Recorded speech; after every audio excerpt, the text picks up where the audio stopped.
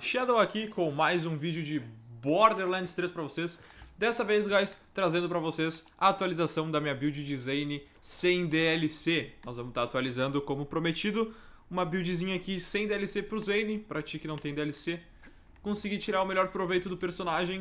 Uh, a gente vai estar tá atualizando a nossa build level 57. Desde aquele vídeo, algumas habilidades foram fortemente esbufadas e a gente vai estar tá tirando proveito delas em especial mod de fita e first shot. Tranquilo? Só antes de começar, avisar que hoje tem live lá na Twitch, caso tu não conheça o meu canal. O link vai estar na descrição. Nós vamos estar jogando um Arms Race, que tá muito bom esse evento e nós vamos aproveitar até o fim. Nós conseguimos bastantes God Rolls na última live, foi bem engraçado.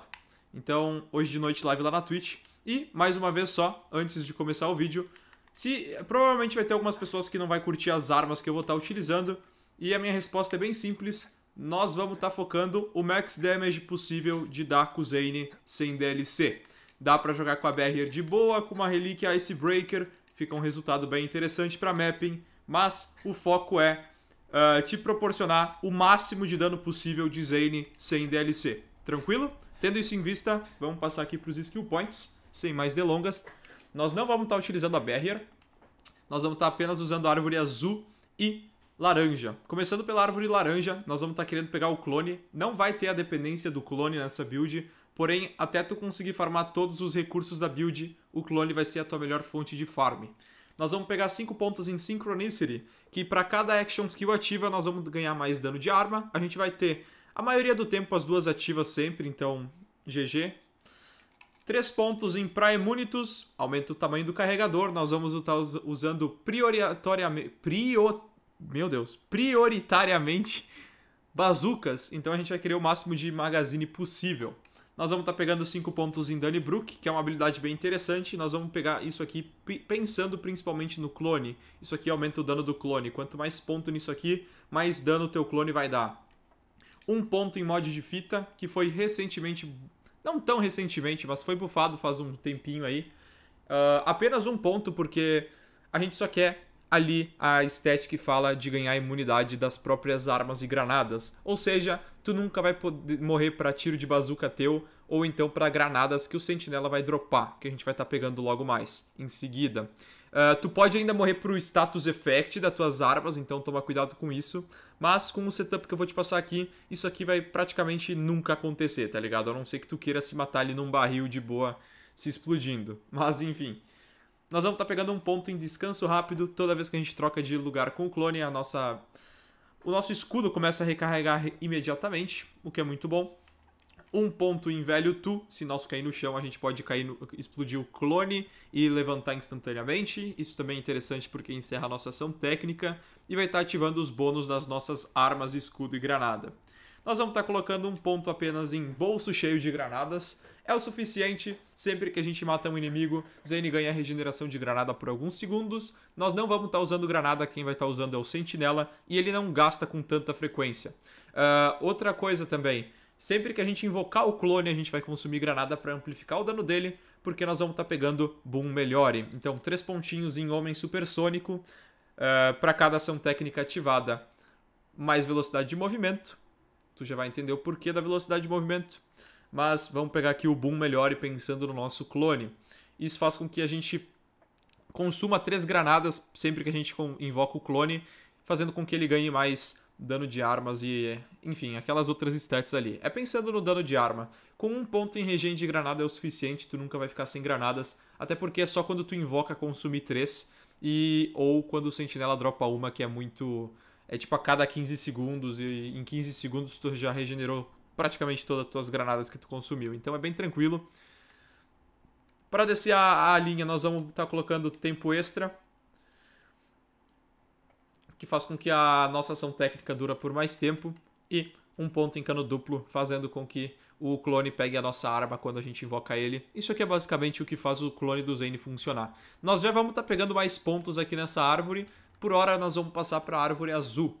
Na árvore azul, aqui nós vamos fazer o as compras, viado. Nós vamos fazer o rancho. 5 pontos em ritmo violento, é uma habilidade muito forte do Zane, um dos pilares do personagem. Qualquer build de Zane precisa disso. Uh, sempre que o Zane está em movimento, ele ganha mais dano de arma. Quanto mais rápido tu tiver, mais dano de arma tu vai ter. Uh, essa habilidade não tem cap, ou seja, se tu for na velocidade X, tu vai ter o dano X. Se tu for na velocidade X mais 100, tu vai ter dano X mais 100, sabe? Tu não tem cap. Nós vamos estar tá colocando velocidade violenta para favorecer isso aí que sempre que a gente mata um inimigo, a gente ganha mais velocidade de movimento. Ou seja, a gente vai estacando lindamente o nosso coelhinho azul. 5 pontos em First Shot. Essa habilidade aqui, junto com o mod de fita, que foi bufada desde o nosso último vídeo sem DLC. Uh, eh, eles bufaram o dano glacial extra, passou a ser 200%, se eu não me engano era 80% ou 100% uh, no tier máximo, passou a ser 200, é muito forte. E vocês vão ver no gameplay que eu, às vezes eu fico fazendo um monte de swap, não é para pegar bônus de outra arma, é só para ativar essa habilidade e fazer com que o tiro dê mais dano do que o normal. Um ponto em entrega por drone, o sentinela vai eventualmente dropar a granadinha, nós vamos estar tá usando uma granadinha para debuffar os inimigos, fazendo com que eles tomem mais dano, então é um, um skill point aqui bom de pegar. Um ponto em Salvation é o suficiente, depois que a gente mata um inimigo, a gente vai ganhar roubo de vida por alguns segundos. Ofensiva total, uma das melhores skills do Zane, Sempre que a gente ativa uma façanha, a gente vai ativar todas as nossas kills kills. Dentre elas Salvation, Dannybrook, etc. A gente vai estar tá pegando mais umas aqui. E essa habilidade é muito boa, além de deixar ali com um talento de eliminação extra de 15%. Basicamente, a gente começa as fights com dano com isso, né? A gente não precisa matar um inimigo para ir sim ter dano. Nós vamos estar tá colocando 5 pontos em firmeza. Firmeza que faz com que a gente ganhe mais velocidade de recarga. E também a gente consiga uh, mais velocidade de recarga do que o normal que a skill já propõe depois que a gente mata o inimigo. Mais uma vez, nós estamos usando ofensiva total, é só ativar a Action Skill que ela já vai estar tá com o, o, bônus ali extra de 23% após eliminação. Nós vamos estar tá colocando 3 pontos em Jogando Sujo, é uma técnica de eliminação, ou seja, a gente pode ativar matando inimigos ou ativando a Action Skill. Extra Shots, projéteis adicionais, é muito bom. É basicamente uma tabose do Zane, o que é melhor que um tiro de backburner, dois tiros de backburner, e essa skill aqui quando ativa te dá 5 extra shots, o que é muito bom. Nós vamos colocar dois pontos em Good Misfortune. Uh, dá pra ser só um, eu particularmente, já que a gente não tá jogando de Sim Dead, eu optei por dois, tá ligado? A gente não vai ter o canhão também para ficar spamando action skill. Então, dois pontinhos tá show. Tu só, tu só perde o teu clone ou o teu sentinela se tu quiser, se tu morrer ou se tu encerrar ou matar eles sem querer ou porque tu quer. Um ponto em a morte vem a seguir. Todas as técnicas de eliminação do Zane ganham maior efeito e duração, também não preciso entrar em detalhes. Essa aqui, ofensiva total, para mim, na minha opinião, é quase que uma obrigação para qualquer build de Zane. E os, o restante dos pontos, guys, fica bem a teu critério onde é que tu vai querer gastar. Eu vou estar tá colocando 4 pontos aqui em violência violenta, que aumenta a nossa cadência. Uh, porque, bom, a gente vai estar tá focando launchers, mas se eu quiser puxar outra arma, essa habilidade aqui dá uma força. E os últimos quatro pontos eu vou estar tá colocando três aqui no truque de luz, onde a gente causa dano glacial extra a inimigos que não estão mirando em nós.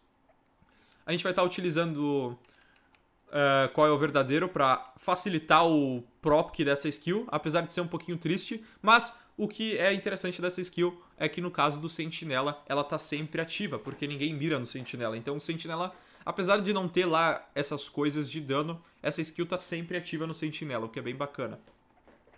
E esse um ponto fica a teu critério, eu vou botar em tempo extra mesmo. Uh, não recomendo granadas fractais, isso aqui é um, é um bait, tá? Não cai nisso aqui. Hum, com Sindet, sem Sindet, isso aqui não vale a pena, a não ser que o jogo tenha uma repaginação completa nas granadas desse jogo, ou que elas escalem diferente para o clone do Zane, isso aqui não vale a pena.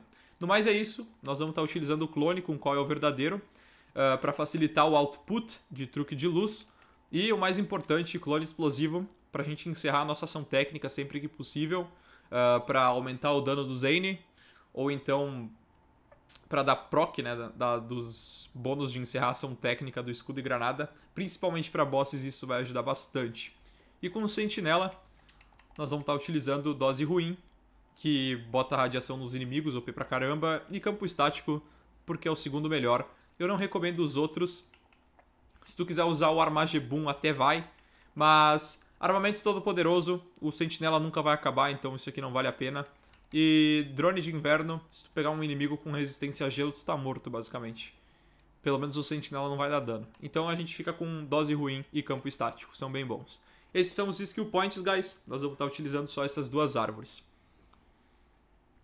Aqui nos Guardian Ranks, tu, ah, não preciso entrar em detalhes também, tudo é muito importante. Mas eu quero dar prioridade para coroado. A taxa de tempo de espera da ação técnica aumenta quando os escudos estão cheios. Isso é muito bom, porque se teu escudo estiver cheio e tu perder ou o clone ou o sentinela, ele vai voltar bem rápido. Então eu recomendo bastante isso. E por a gente estar tá jogando de launcher, ponta oca e mais que morto, vale muito a pena para dar amp no nosso dano, principalmente para áreas de mapping. Tranquilo, manos? Eles estão dessa forma aqui, tenta pegar tudo que tu conseguir, que tu tá feito. Show de bola? Para os modifiers de Mayhem, eu tô jogando Mayhem 10, tu pode jogar Mayhem 11 sem nenhum problema. Porém, o Zane, sem DLC, é um personagem que requer um pouquinho, assim, não tanto, mas requer um pouquinho de skill para jogar, no sentido causar dano, né? Tu tem que pôr na tua cabeça que tu precisa estar tá rápido para causar dano. Então, caso tu não consiga uh, jogar com Zane muito tranquilamente, eu recomendo tu colocar Mayhem 10 em vez de Mayhem 11 e pegar aquele modifier ali, fácil, Demônio Veloz, que sempre que tu mata um inimigo, tu ganha muita velocidade de movimento. Isso aí vai fazer facilitar demais o dano do teu Zane. E para quem não joga com, para quem joga sem DLC, não é uma obrigação, mas é muito bom se tu utilizar esse modificador aí, porque ele facilita demais. Os outros ali pouco importa, tu não quer nada que envolva imunidade a certo elemento, mas Demônio Veloz com o Zane sem DLC é muito forte mesmo. Com DLC também, mas sem DLC fa favorece, facilita demais, tá ligado? Então, se eu fosse te recomendar, se tu não é acostumado a jogar de Zane, bota o Demônio Veloz ali para te ajudar um pouquinho a se acostumar com o personagem, pelo menos. Tranquilo? Mas agora sim, eu deixo vocês com o gameplay e nós vamos falando sobre o loadout. E com relação ao loadout, guys, o bagulho é bem simples. Nós vamos estar utilizando apenas um class mod. A gente vai estar usando um anti-freeze. Todos os itens que eu mencionar aqui vão estar na descrição. O link da tabela também, é só tu olhar na tabela onde é que eles dropam. O anti-freeze é um class mod exclusivo do Mayhem 4 pra cima. Eu já passo a cal caso tu não consiga jogar Mayhem 4 do que fazer, inclusive já passo agora. Se tu não consegue jogar Mayhem 10, vai estar na descrição também um link de como ir direto pro Mayhem 10. Bem simples, bem fácil, isso aí vai favorecer, facilitar, não sei porque eu tô com a palavra favorecer na cabeça hoje, enfim. Uh, vai facilitar demais a tua vida, uh, essa dica de ir direto pro M10. E o Anti-Freeze é um class mod que dropa só no M4, pra cima. Uh, enquanto o Zane desliza ou está no ar, ele ganha mais 40% de dano de arma e 20% redução de danos. Além disso, enquanto está desacelerado, ganha, ganha 100% de velocidade de movimento. Esse class mod é muito bom, ele é um dos melhores do jogo, uh, em especial para o Zane. É o class mod do Zane que mais consegue propor dano para ele, uh, pela propriedade, não pelas skills que ele buffa. porque, mais uma vez, não tem cap, e tu quer encontrar um desses com o um máximo de pontos no coelhinho azul. Com relação aos bônus ali, esse aqui não veio 100% perfeito, eu tô com dano crítico de arma, dano em área e dano de arma pesada. Se eu pudesse trocar algo ali, eu trocaria o dano crítico de arma por dano de ação técnica. É bem interessante se tu encontrar um com isso. E é, uma, é um queima-boss, cara. Dá pra usar pra mapping, ele é muito melhor pra boss, mas pra, sem DLC pra mapping eu recomendo, é a melhor opção disparada pro Zane, cara. Não tem um outro class mod que chega aos pés desse.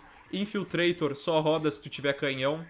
Uh, Executor só roda com canhão também. E, enfim, Cold Warrior Expert é meme hoje em dia, tá ligado? Uh, Anti-Freeze é a melhor opção do Zane sem DLC, disparado, para todas as situações. E, enfim, pra boss tu não vai ter nenhum problema, pra mapping tu só tem que jogar safe, mas com mod de fita tu não vai se matar nunca, tu pode olhar aí que eu jogo igual um Highlander, pouco importa. Dou tiro de backburner de corrosão e fogo no meu pé e tô de boa. Anti-freeze é muito bom, ele propõe redução de danos pra nós e faz com que o nosso dano vá lá pro céu, cara. Muito bom mesmo. Esse é o nosso Class Mod. Passando pra Relíquia, guys, outro pilar da nossa build é uma Snowdrift Victory Rush. Tu vai estar usando essa relíquia 100% do tempo, tu não vai precisar trocar, assim como o Class Mod. Uh, Victory Rush, sempre que tu mata um Berez, ativa o Victory Rush. E o Victory Rush dura um minuto, tu ganha velocidade de movimento e dano perfeito pro Zane, não preciso falar nada. O que tu vai querer de bônus na tua relíquia é dano de área de efeito, tamanho do carregador e o outro bônus vai do teu gosto. Uh, essa aqui que eu tenho é praticamente perfeita, vale muito a pena esses bônus. A uh, Victory Rush facilita demais o dano do Zane, combado ainda mais com o modifier que eu recomendei pra vocês lá do Demônio Veloz. Mas tu quer uma Snowdrift com Zane, porque Snowdrift com Anti-Freeze é o passaporte para tu conseguir dar insta-kill em bosses, tá? Snowdrift é a melhor relíquia para queimar boss no Zane. Uh, fica essa a, a dica. Uh, só que Snowdrift é prefixo de relíquia, tá ligado? Tu pode encontrar outra relíquia com Snowdrift na frente. Eu recomendo a ímpeto de vitória justamente por esse output de dano e velocidade de movimento quando tu mata um Beres. Com relação ao escudo, não tem outro, nós vamos utilizar um Transformer. Aqui no Transformer tu tem dois bônus para escolher. Tu tem o Encerração Técnica, causar dano de certo elemento. Uh, eu recomendo que seja elétrico, porque o Transformer ele vai absorver o dano elétrico e transformar em escudo. Né? Ele te deixa imune. E se tu usar ele com encerração técnica de outro elemento, pode ser que o dot te pegue bem difícil tu morrer ainda assim, mas pode acontecer, tá ligado? E o melhor de tudo, eu nunca fico sem munição justamente por causa do Transformer. A gente tá utilizando a build pra tomar dano. A gente não vai morrer, mod de fita tá aí pra nos ajudar, Salvation também tá ali. Uh, o Transformer é o carinha responsável por a gente nunca ficar sem bala de backburner, como vocês vão vendo no gameplay aí. O outro bônus que eu recomendaria é, enquanto o Sentinela tá ativo... Deixa eu ver se eu tenho aqui. Ah, aqui. Enquanto o sentinela está ativo, a velocidade de movimento aumenta em 15%. Eu é a melhor opção para mapping sim, mas eu particularmente deixo só aquele com encerração técnica porque eu não quero ficar trocando de item toda hora. E com um demônio veloz, com ritmo violento ativado, velocidade violenta, tu não vai ter problemas com a velocidade, então não é necessário esse aqui. Tu pode usar esse aqui, mas eu ainda recomendo encerração técnica dano elétrico, ok? Com relação à granada, nós vamos utilizar uma PIS, Granada nesse jogo é meme, a única granada que presta no Zane além da Pisa é a Rex, e a Rex só presta se tu utilizar um Sim Dead. A gente não tá usando Sim Dead porque a build é sem DLC, então nós vamos criar uma PIS com encerração técnica, o dano ponto fraco da área que tu tá enfrentando. Aqui, lembra, como eu falo em todo vídeo de build, o bônus de encerração técnica de escudo e granada tem que ser elemento diferente porque eles não se somam, ok? Sempre elementos diferentes e de preferência uh, usar o elétrico no escudo justamente para não correr risco nenhum de morrer, ok? O, elétrico vai facilitar tu se healar, inclusive, com uma backburner de choque. Para mapping, tu pode estar tá utilizando essa pisa aqui com o bônus de ao lançar granada aumentar em 25% o dano de arma e afins. Porém, eu não recomendo, porque tu já vai estar tá dando muito, muito dano. 25% a mais daquilo ali não é necessário. Tu já tá overkill, não tem o porquê ser mais overkill do que já tá, tá ligado? Uh, fica com encerração técnica, porque caso alguma skill acabe, o teu dano vai aumentar. E caso tu mate o clone intencionalmente ou por acidente, esses bônus vão ativar e vão amplificar teu dano uh, ao longo do teu gameplay. Tranquilo? Com relação aos itens ali embaixo é isso, guys. Eu vou passar aqui para as armas, depois eu volto ali rapidão para te falar o que tu pode utilizar caso tu não tenha uh, algum daqueles itens, né? Tem algumas calls que eu gostaria de passar, porque, né, as armas que a gente está utilizando aqui é full endgame. Todas elas, sem exceção, são exclusivas do Mayhem 6 para cima. Lembra de olhar o vídeo que eu deixei na descrição aí de como ir direto pro M10, que com aquele vídeo tu vai conseguir farmar essas armas uh, bem mais de boa, tranquilo? A nossa primeira arma é, obviamente, qualquer build de clone, uma Sandhawk, cara. Sandhawk, tu pode utilizar na mão do Zane, tu vai conseguir dano com ela, porém ela tem muita pouca bala, eu não recomendo, uh, a não ser que tu vai jogar com barricada Icebreaker, ainda assim tu vai ter muita pouca munição. Essa arma é pro clone. Essa arma tem Splash, apesar de não aparentar, ela tem Splash e o Splash Damage vai pro clone. Uma coisa importante que tu tem que saber é com a arma que tu vai colocar na mão do clone. Vocês estão vendo ali embaixo que ela tem o bônus, enquanto o sentinela tá ativo, eu recebo 100% de dano glacial extra. Tu não precisa de bônus. Isso é muito ruim, porque tu poderia dar mais dano com o clone, porém é muito bom no sentido de farmar. Tu quer uma Sandrock de cada elemento. A de fogo é a que eu mais recomendo, mas dependendo da situação, tu vai querer uma de choque, dependendo tu vai querer uma de corrosão. Depende muito do que tu vai fazer, né? Mas, tu pegou a Sandrock do elemento de fogo com um bônus cagado? Foda-se. Tu ganhou na, na loteria, porque o clone não pega bônus de arma. O clone dá dano pro car pra caramba por si só, porque ele tá escalado pro Mayhem 10, ok? Nenhum bônus de arma vai pro clone. A arma é copiada pra mão do clone, mas o bônus, por algum motivo, não vai. A Gearbox tem medo do clone, tranquilo? Então, se tu pegar uma Sandrock com o elemento que tu quer, mas com o bônus completamente nada a ver, sei lá, bônus de... Uh, sei lá, o bônus da trap do Fleck, o bônus do canhão de não sei o que da Mouse, bônus de esmagada da Mara. Foda-se, tudo tá feito. Tu só quer a arma com o elemento certo.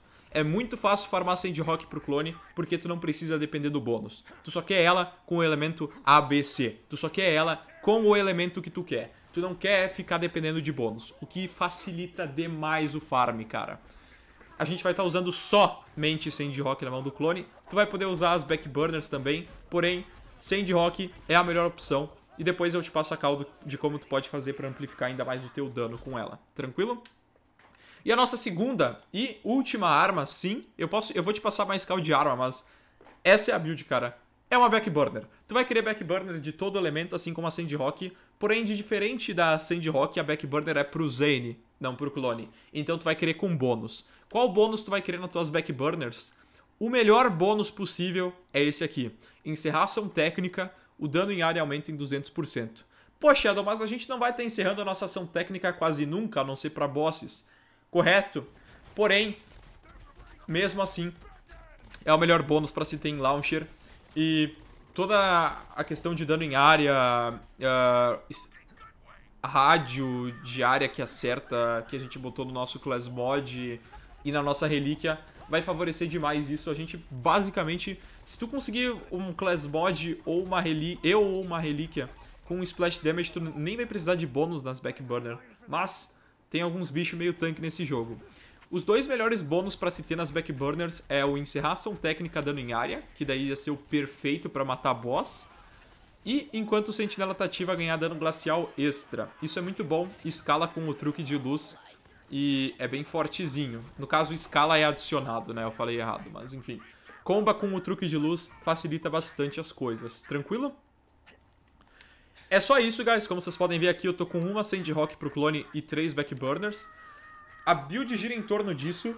A gente é full launcher, é bem Axton Norfleet vibes. Mas, como eu falei, o objetivo dessa build é max damage no Zane possível sem DLC. Tranquilo?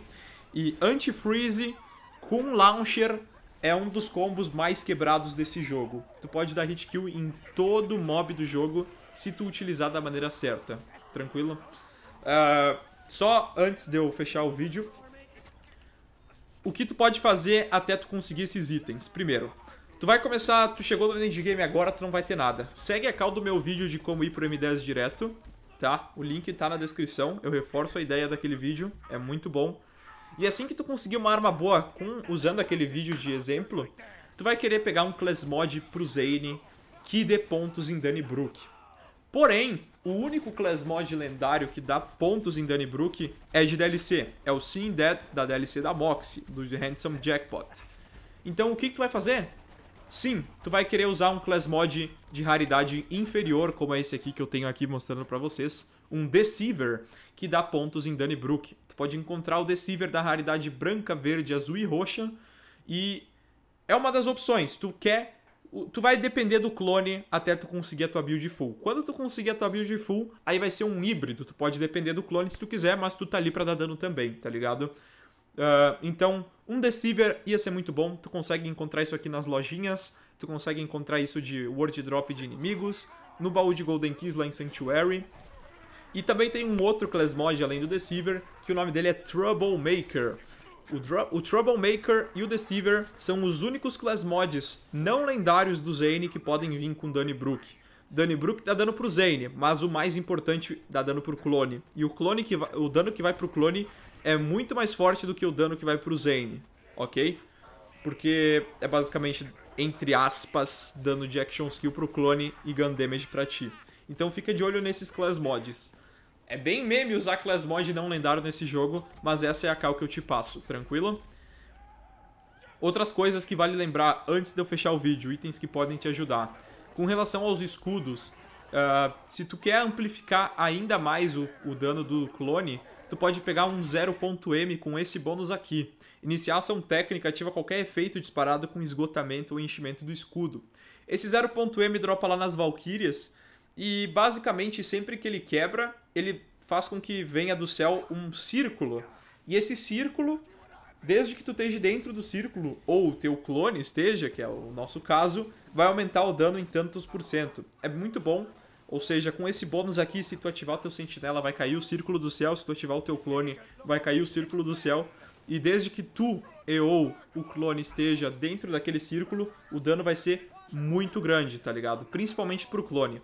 Pra queimar boss, pro clone isso aqui é muito bom, eu recomendo bastante. Pro caso do Zane, escudos que amplifiquem o tiro é uma boa pra boss. Eu tô utilizando aqui de exemplo o One Shotter. Uh, ainda não consegui um level 65, esse é o único que eu tenho. Mas tenha em mente que escudos amp que amplifiquem os tiros pra dar insta-kill em boss com a Backburner facilita bastante. Uh, existem vários escudos, o próprio 0.m faz isso. Uh, tem escudo roxo, se eu não me engano, o Coffee Maker também dá, faz isso. Qualquer coisa que amplifique o tiro é muito bom, porque com Plain Dirty tu vai dar um tiro extra e dois tiros amplificado é muito nice.